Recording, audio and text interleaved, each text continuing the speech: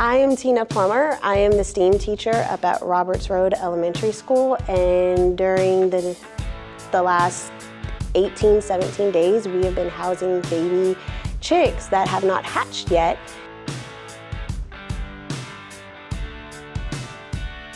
It started with the life cycle of a, any organism that fifth grade needed to go over.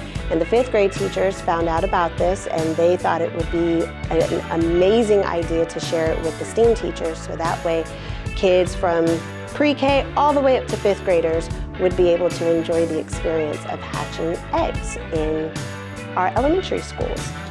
Throughout this process, what we're trying to do is teach the kids the life cycle. We provide them an incubator that has a light on it that allows the kids to candle the eggs throughout the growing process of the life cycle in the egg. We provide a curriculum to the schools to where it teaches the kids throughout the process. It gives them the important facts, updates on what they should be seeing.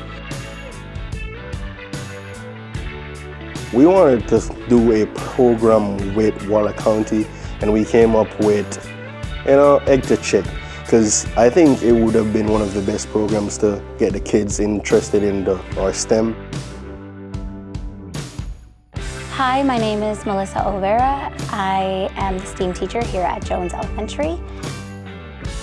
My littles, my kindergarteners, and my pre-Kers, um, I had a little calendar sheet that they uh, did and we went through it every day and monitored what, what they saw and how, they, um, how the egg grew. So they were able to monitor it that way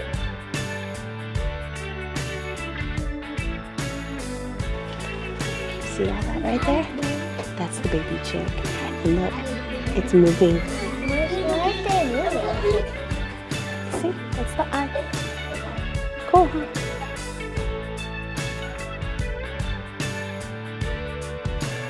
So we're just excited to see when the eggs start hatching so that we can meet our baby chicks.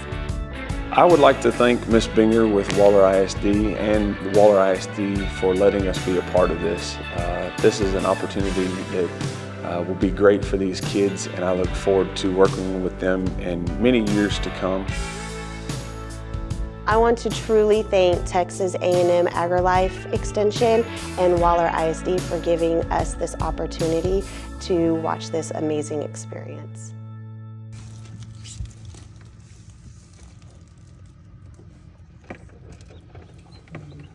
Oh my god.